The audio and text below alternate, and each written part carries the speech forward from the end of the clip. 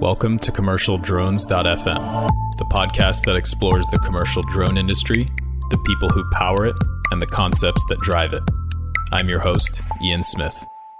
Hey, everybody, and welcome to Commercial Drones FM. Ian here, and I'm sitting in Chicago, Illinois at XPONENTIAL with Joshua Resnick. He is the CEO of Parallel Flight Technologies, a company you probably have not heard of yet, but is super, super, super, super cool. So, Joshua, thank you so much for coming to the podcast. Thanks for having me. I'm a huge fan. I love Commercial Drones FM, listen to all the episodes. So it's great to uh, actually get to be on the show. I did not pay him to say that at all. Wink, wink. No. Yeah, you can pay me later.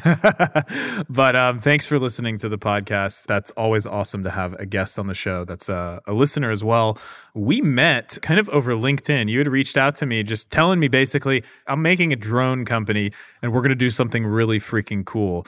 But before, actually, we'll leave the teaser. Before we talk about what drone company you created, first tell us a little bit about your background because it is incredibly interesting. So, have you ever seen Alaska's Deadliest Catch? Oh, the Deadliest Catch, the one that was on Discover forever with the people doing the crabs and stuff right? The and they yeah. like have problems, and sometimes they have big problems on the boats. Yeah. So that's really where I started working on powertrain systems, which is going to tie into what we talk about.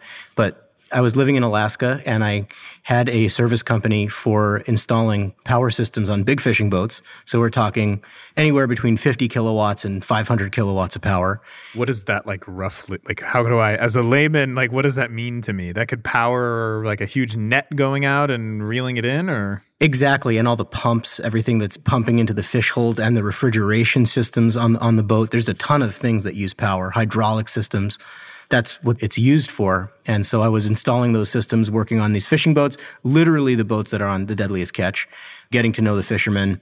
And I saw a huge opportunity for hybrid power systems to increase efficiency. So I started working with the state of Alaska and I was funded by the state to do research and development for hybrid systems. And we developed a whole unique powertrain system for fishing boats up there. And then I was recruited by Tesla and I ended up building and designing the electric system for the Tesla semi truck. So I was at Tesla for almost four years doing that. And then something happened which caused me to want to get into drones.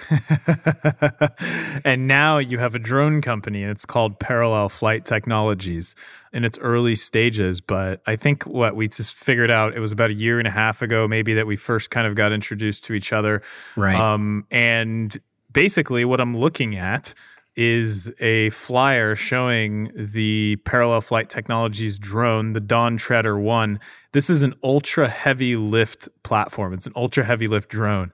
The huge mind blowing stat on this is that with a 10 pound payload, it can hover 6.4 hours or it can fly in some type of configuration for 6.4 hours. That's absolutely ridiculous. How is this possible? What's going on here?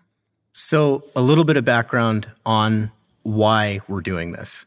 We had a forest fire about five miles from our house up in the mountains of Santa Cruz. And it was a remarkable situation. Had been in the area for about three and a half years. First time we had a big fire, and the sky is glowing red at night. Ash is falling. You know, smoke is causing everybody to cough. I'm getting my family, my kids ready to evacuate. And the next day, I see this um, Sky Crane helicopter fly overhead. We're talking about an aircraft designed almost 60 years ago. And I'm looking at it thinking, wow, that's a pretty old technology. I wonder where's this industry at? And so I started having conversations with people in the industry, especially with Department of Interior, and I found out that there's a huge push for unmanned systems to start augmenting the manned systems. And looking at the mission profiles that were going to be needed. One of them was heavy lift for firefighter resupply and eventually even for fire suppression applications. So then, based on that mission, we said, what could we build that would start to do that?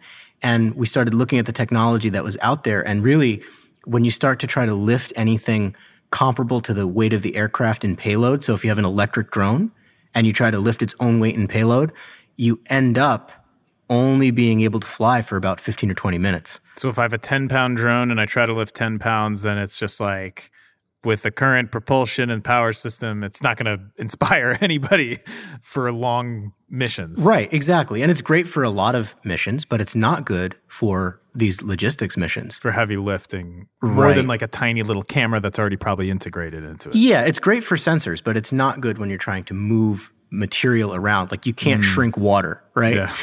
so That's right. Yeah, delivering water to a fire and yeah. interesting. Okay. So so we ended up essentially reinventing UAS powertrain. There's hybrid systems that are out there. So these are essentially an electric drone with a gas generator strapped onto it. And that really does extend flight time. It doesn't do a whole lot for payload. So we looked at that and found we started rethinking from first principles what can we do to extend flight time and payload. And in the automotive industry, what's been done is what's called a parallel hybrid, where the engine drives the wheels and an electric motor at the same time, and the motor can act as a generator or a motor. And we said, let's look at a parallel hybrid multi-rotor. And so we we hashed all that out. The numbers were looking good. We built the proof of concept and uh, did a, a whole lot of testing on it, and we're really happy with the results. And so this is our next iteration. It's really an alpha level product that we're developing right now, and it has the specs that that you see, but the audience can't see. So yeah, I'm just looking at the flyer again, and let me just try to describe this. So this is okay. It's a quadcopter. I'm going to ask you to like kind of like interject. So it has two. Okay, how do I describe? See, this is this is why it's so cool. Is because there's not a lot of, of stuff that exists like this. So first, what I'm looking at is like it looks like a nor- imagine a normal quadcopter. It's got big wooden props on it, but the engines that these props are attached to on each of the four arms have these two nice big red nacelles. Think of like a business jet with like two sleek red engines on the back, like kind of cylindrical, but these are flipped over. They're kind of vertically oriented. Tell us about what those things are. I mean, this is a, a hybrid electric system. This is a hybrid electric motor. Each motor on this Right, right, has right. those red nacelles on it. Exactly. So each arm, each motor has these red nacelles. I'm trying to do my best. I'm You're sorry, doing guys. What is this? what you're looking at is what we call our hybrid power module. Okay, And it's a, a very tight integration between an internal combustion engine and an electric motor and an interesting clutch mechanism and other things like that, all packaged into this neat package and a cooling system and everything. And all of that goes on each corner of the drone. As opposed to having like a central uh, generator that you were saying. So this the design Exactly. is radically different than pretty much anything that exists. Yeah, it's totally new. And it- it's also, it has a lot of benefits that kind of fall out naturally from the design. One of which is it's redundant. So that if one of those internal combustion engines has a failure, it can instantly clutch over to all electric propulsion on that prop. And then the other hybrid hmm. modules are providing power to that prop. So you have this level of redundancy where in many cases you can finish the mission and come back or you can just decide to land but it, you know it's not hmm. just going to fall out of the sky you can continue flying for a long Yeah. time even with a, an engine failure That's extremely unique. There are very few, if any. I, I can't even name another kind of hybrid drone that I am very much aware of, like like I am you guys. But just having that redundancy, and it's not just the whole system; it's each separate engine or motor that's on this drone. So that's super unique. Tell us about the prop. So what I was I was I was biting off more than I could chew and I was trying to describe everything. So we'll go slower now. So at the top I mentioned a very large prop. It looks like the wooden prop at the top is 36 inches. First of all, two questions. Why wood? Second question is at the bottom, so at the inverse, so uh, at the bottom, I forget the technical term for this. Help me out here with two props on it counter rotating counter propellers yeah Of course. So the bottom prop on the on the bottom facing like the opposite direction Yeah. towards the ground is plastic and it's a lot smaller diameter. So Right. what's going on here? Why is there's a wood one, a plastic one, and also what's up with this design? Why is one bigger? Why is one smaller? Maybe tell, tell us a little bit going on here. yeah th- these are great questions so wood Very intelligently uh, asked questions too, by the way. So the wood is there because for our alpha design, it's just simply lower cost. And also another benefit to wood is that it really absorbs a lot of the cyclical torque that's produced from the gas engine. So carbon props, when they fail, it's very catastrophic. And so rather than doing tons and tons of testing with carbon props that maybe weren't designed to run with a gas engine, we're just going with wood because it's kind of real quick and we and we know it's going to work. But we're not tied to uh, wood as a final product, like because you guys are still lighter. in the alpha stage, yeah. running pilot programs. Exactly. Okay. Perfect. Yeah, the great. That's actually see. I love this. We have a CEO who's extraordinarily technical. This is amazing to to hear. You can answer all the questions. So tell us then about the counter rotating smaller plastic or carbon or it looks. Yeah, what is it? So that that this is part of our IP that we're developing for our product, and it really all of this is done to increase the range and duration capability of the aircraft. So those smaller props are all responsible for the stability control of the aircraft, while the big props on top are just providing the bulk thrust. And so by splitting the bulk thrust with the stability control, you can leverage an efficiency gain. Gotcha. So those props are not like tied together no. mechanically. So they they can operate at different speeds and exactly. okay, cool. Yeah. Very nice. And I just love I just have to mention like I'm getting like this super uh, retro sexy aviation vibe like from old like airplane concept designs uh, with these red nacelles and the wooden props. I mean, it's really cool and it's just such a nice juxtaposition with like the super modern. It looks like it's a carbon fiber like fuselage basically yes, for the rest of the drone. Thank you. It's really cool. I mean, for for an alpha product, it's extremely polished, and those engines are just something else to look at. So really cool. So let's yeah, go. Thank you. Yeah, thank you. Um, uh, let's go through some of the specs here. So this is crazy. Well, how much does this thing weigh, and how? Just give us an idea of like how big is this aircraft right now? So engine to engine, or what we like to call our power module to power module, it's 1.7 meters or 5.6 feet okay. across. Gotcha. And it's configured as slightly an offset X. So we're not talking so, M Matrice 200. We're not talking Phantom. We're talking Mavic. We're talking more of like human sized kind of not that a human could sit in it but yeah. well it could probably lift one but a small one okay so naturally it's a bigger aircraft right it's a bigger aircraft and the empty weight is 75 pounds 75 pound aircraft okay right. so this does eclipse the 55 pound limit that the FAA has set for Part 107 operators. That's correct. So, what is up with that? How are you going to get around this? What's yeah. going on oh, here? Oh, that's a great question. So, this aircraft is not for your everyday one, oh, Part 107 pilot.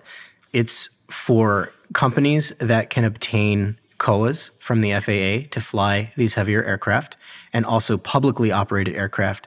It can also obtain these COAs to fly over 55 pounds. So this aircraft is really being designed for things like firefighting, disaster relief, search and rescue, and other applications like that. And then there are private companies that are working towards being able to operate or, or even can operate over 55 pounds right now for things like ship to shore and remote unmanned logistics and things like that. That being said, we are planning on scaling this technology down to a lower than 55 pound aircraft. A little bit counterintuitive is that when you try to scale something like this down, everything becomes a fight for mass. And so the engineering becomes more complex because you have to do finite element analysis on every single part.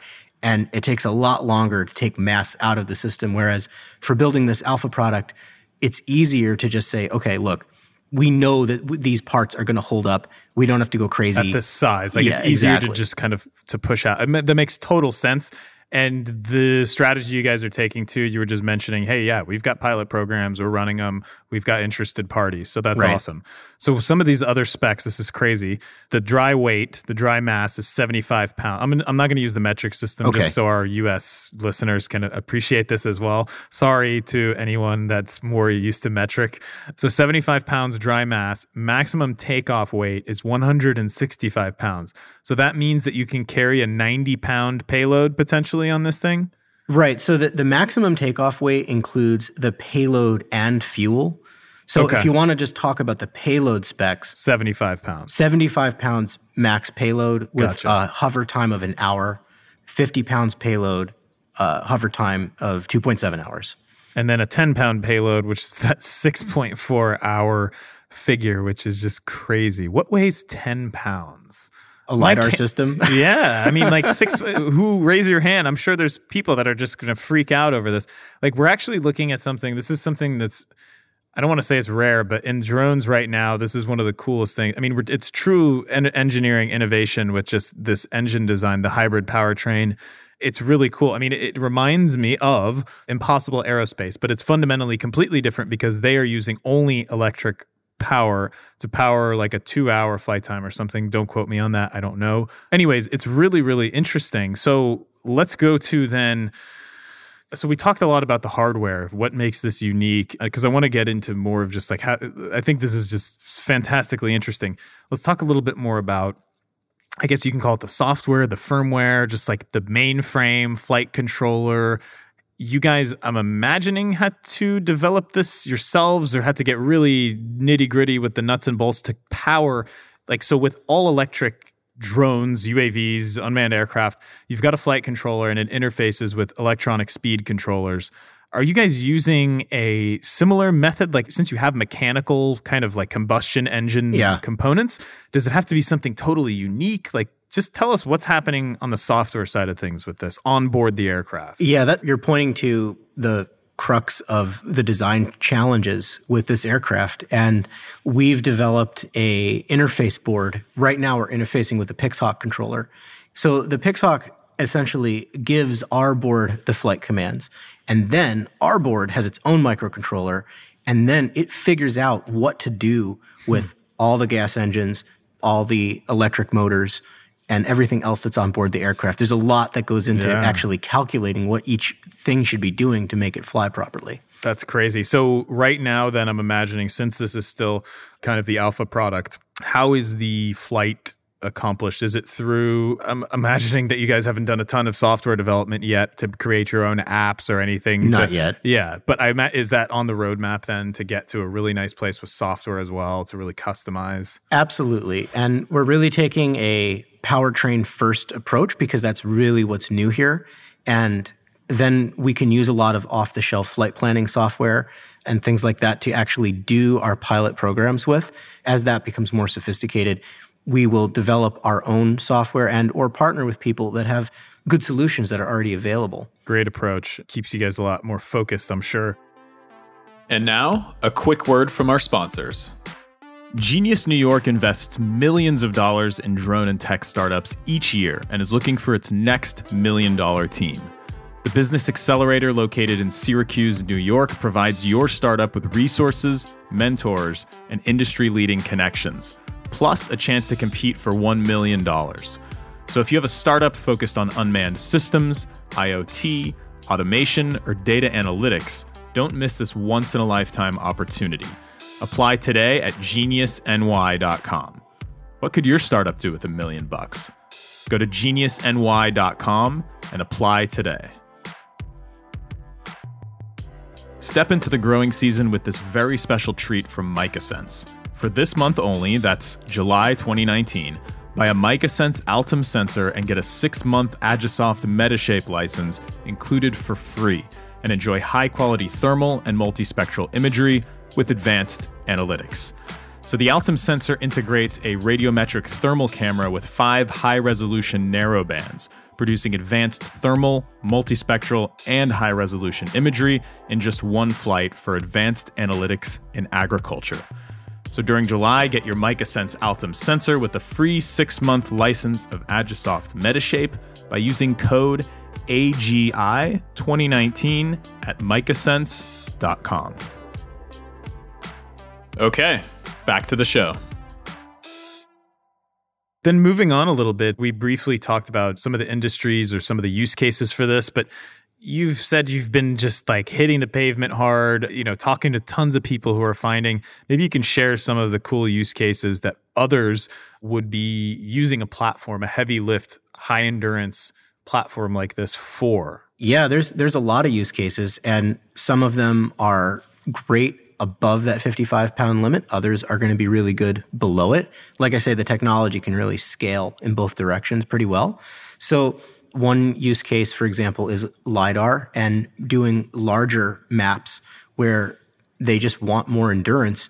And one of the pain points is that even with the hybrid drones that are out there, is if you have an engine failure, you only have like two minutes to land, and sometimes it's just not enough. Mm-hmm. And so some of the people in that industry are saying, look, this would be great because it can continue flying. If there's a failure, it's really that fail safe mechanism that's a big selling point for LiDAR. I mean, LiDAR units of that size are incredibly expensive as well. Exactly. Yeah, that's right.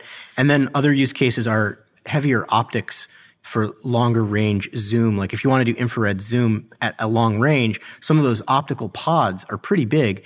And I, I was wondering, like, well, can't you just shrink that? And then the answer I got is that you can't shrink optics. Optics so, are yeah very tough. I was just talking to FLIR and right. Um, they were telling me, well, they have a, another crazy engineering uh, crew that are behind that. But yeah, I completely agree. I mean, it's that one's like it's like physics. Like it's you physics. can't. it's physics. Yeah. I mean, and and there's always workarounds. Always, you know, physics is interesting. But yeah, uh, basically, so that's another use case is having these larger optical sensors that just are heavy. And for public safety, you want to put that up in the air for a long time. And this is a way to do it. And then you get into things like gas sensing and stuff like that. That's another very heavy. Like methane. Yeah, there's these gas sensors that actually capture gas and they're pretty heavy. And so I was just talking with some of those guys today and they're like, yeah, we, like the mission time, we're really constrained right now. We're really constrained by the flight time. So they're they're very interested as well. And those are all those 50 under 55 pound applications. When you start getting heavier, it's carrying these big cameras for cinematography. Uh, some of those packages are quite heavy, weighing almost 50 pounds themselves. And then going up even further, then you really get into unmanned logistics for firefighting, disaster relief, search and rescue, ship to shore applications. There's a ton of different things in, in those kind of markets.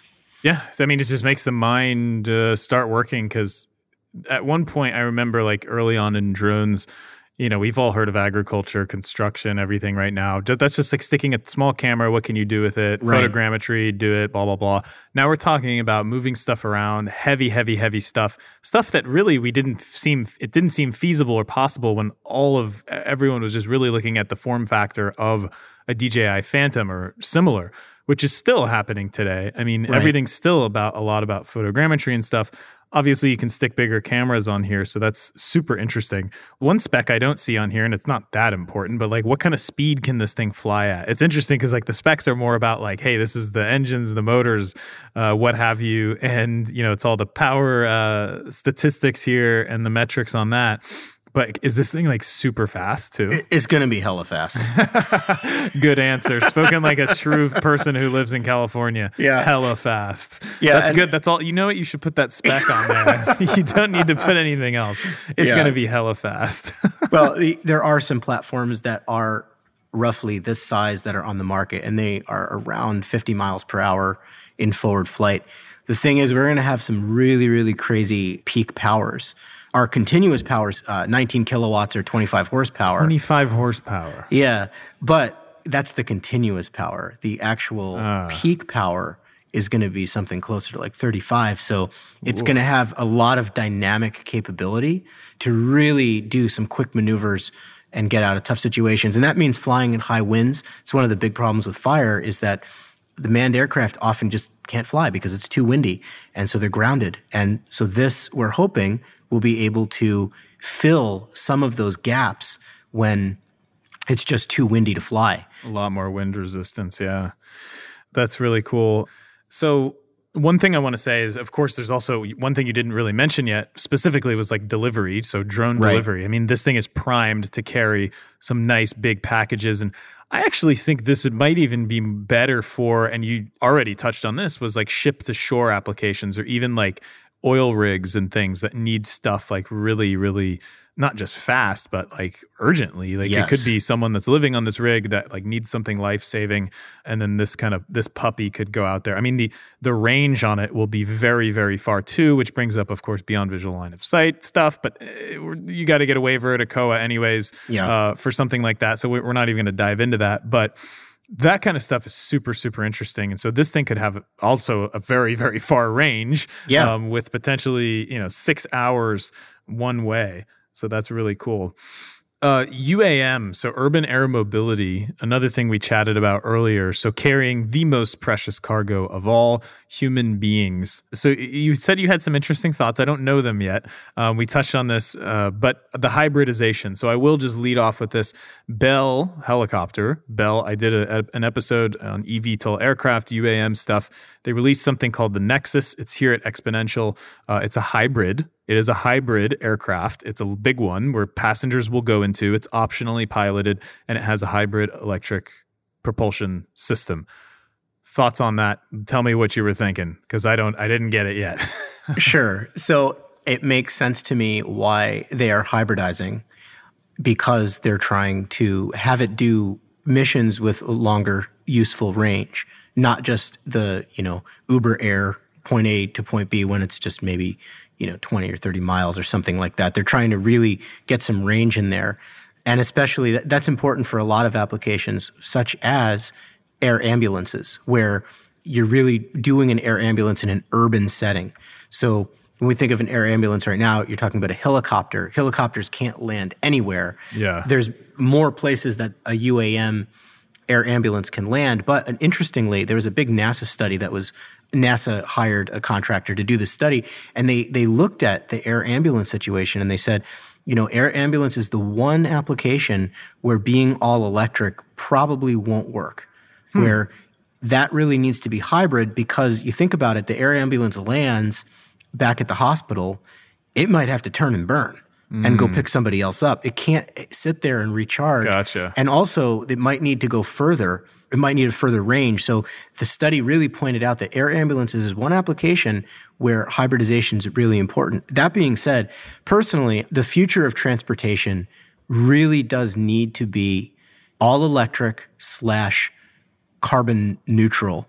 And I'm a former Tesla guy, yeah. So it's it's in my say, it's like, in my blood, and like you've been working on the future of transportation even before this, right? Exactly. And so, like to me, like why am I doing hybrid? Well, I'm doing it because if we're putting a forest fire out, that's great. You know, that's really good for the environment. This is really core to me as a person and to my company is that we are doing right by the environment. So I believe in the future, the battery technology will get there where all these applications can really truly be all electric. Transportation definitely needs to be all electric. On our technology roadmap is to start using renewable fuels for a lot of applications. So if we're doing package delivery, I'm going to insist that those are carbon neutral applications. And there are good carbon neutral fuels that are out there that are compatible with some of the engine technology that's also available. So that's something that I'm looking forward to. Right now, we're not developing around that because it's, it's expensive to start with, but it's definitely in our DNA and on our roadmap.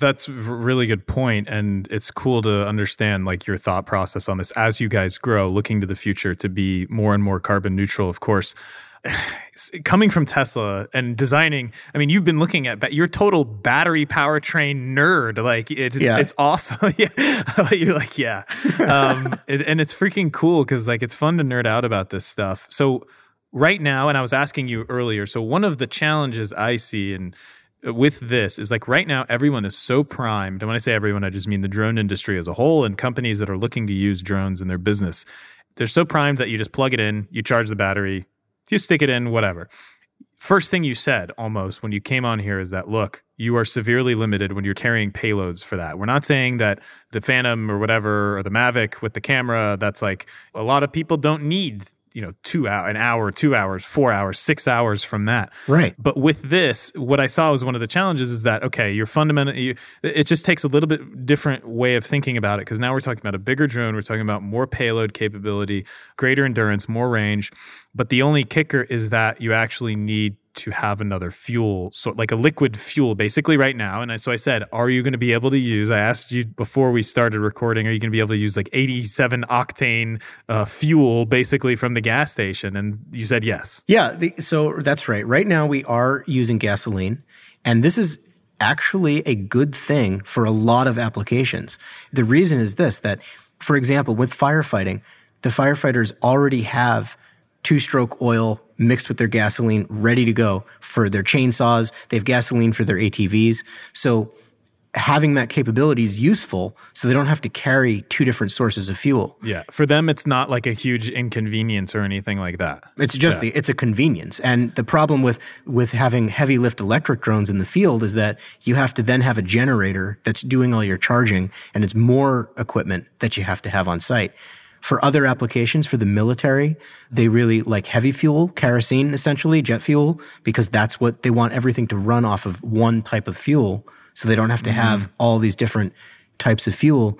And then like I said for eventually we want to do carbon neutral fuels for logistics applications. So we talking like um, canola oil or something like that, or some type of like bio fuel? Yeah, and there's companies that are out there that already make carbon neutral fuels or that are to a very large percentage completely renewable. Like I run I have a diesel Passat and I run that car off of a product called HPR, which I get at a pump.